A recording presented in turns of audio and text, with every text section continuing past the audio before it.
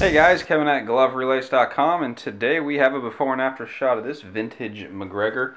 I looked earlier, I couldn't find a model number. I, the only thing I really do know, based off what I can see, it says handcrafted, and that it's made in the USA. So today we're actually going to do three different things to this glove.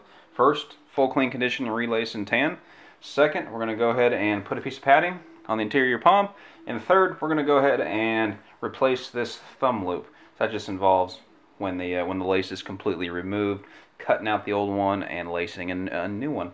So uh, bear with me one quick second and you will see the after shot and all three of these updates. And uh, if you have any questions in regards to gloves and or glove relacing, feel free to contact me through my website at www.gloverelace.com. Thanks, guys. Hey guys, Kevin at GloveRelace.com, and here is the after shot of this MacGregor. Uh, this is the MacGregor, and I, and I, still could not find the the model number, so I'm sorry. This is an older MacGregor, either either kangaroo or buffalo leather, based on the feel of it.